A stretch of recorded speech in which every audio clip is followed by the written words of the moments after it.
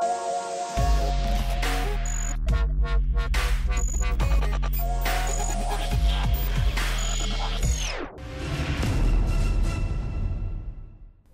xuất hiện và hoạt động trong suốt hơn 10 năm qua, mỗi buổi trưa, việc mua bán vẫn diễn ra nhộn nhịp như thế này trong những tiệm bán cơm trắng, nằm dọc theo một đoạn cuối của đường Nguyễn Thông, quận 3. Điểm chung dễ nhận thấy của những tiệm cơm chính là những nồi cơm điện to ngoài cỡ như thế này. Gần trưa, hơn chục nồi cơm điện loại lớn hoạt động hết công suất. Tiếng gọi bán cơm trắng của những người lao động nghèo, người bán vé số hay sinh viên vang lên liên tục. Giá mỗi ký cơm khoảng 10.000 đồng, nhưng khách mua 5-7 ngàn hay thậm chí là 2 ngàn đều được đáp ứng. Cơm nóng hổi và trắng tinh được người bán cho vào bịch ni lông, đặt lên cân tính theo ký giao cho khách nên gọi là cơm ký. Đây là lựa chọn phù hợp với những người lao động thu nhập thấp, chỉ cần ít cơm trắng cùng với dưa cà, mắm muối là xong một bữa ăn. Không chỉ phục vụ người có thu nhập thấp, phố bán cơm ký còn là địa chỉ quen thuộc của những chủ quán cơm hay những người bận rộn không thể nấu cơm thường xuyên. Nếu như ở những quán cơm bình dân, người bán có thể không hào hứng bán cơm trắng, thậm chí từ chối vì lời lãi không bao nhiêu, vì còn để cơm bán cho khách ăn cơm đĩa hoặc cơm phần tại quán. Nhưng tại phố cơm không, bất cứ ai cũng có thể mua vài ngàn cơm trắng. Có lẽ ngay từ khi bắt đầu mở quán, những người bán cơm trắng không bán thức ăn này đã quyết định phục vụ cho những người ít tiền.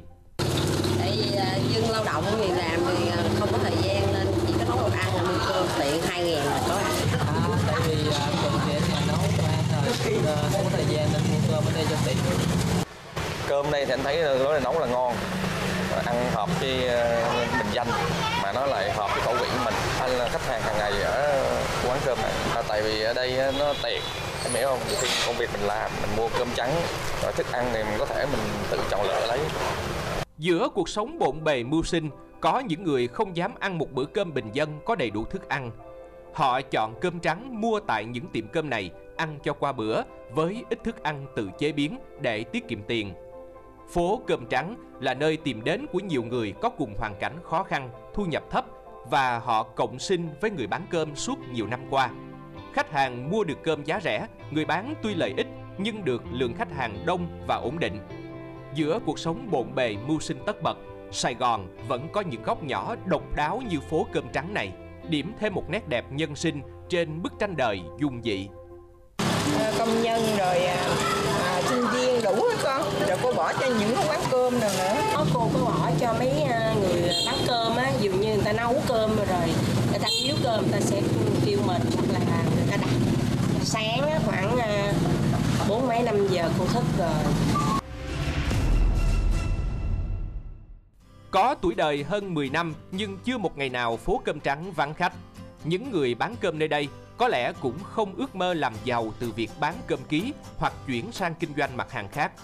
Bởi hơn ai hết, chính họ mới hiểu được cái nghèo, cái khổ của những người lao động thường mua cơm trắng trên con phố này. Và việc mua bán của họ cũng chính là sự giúp đỡ thiết thực cho đồng loại của mình. Lấy công làm lời, những nơi được gọi là cửa hàng nhưng thực chất chỉ là chiếc xe đẩy với cây dù che mưa, che nắng, cây bếp ga, cái nồi cơm điện đầy ắp cơm trắng và tấm bảng bán cơm không. Thế là xong. Cứ mỗi buổi trưa, đây là thiên đường ẩm thực của những người có thu nhập thấp. Dù chỉ bán cơm trắng, nhưng người bán cơm cũng phải thức khuya dậy sớm, nấu hàng trăm ký gạo phục vụ khách. Đôi lúc giá gạo, giá điện, giá nhiên liệu tăng lên, người bán cũng phải vất vả tính toán, cân đo để giữ được giá cũ. Bởi vì nếu tăng giá cơm thì khách hàng sẽ khó khăn hơn.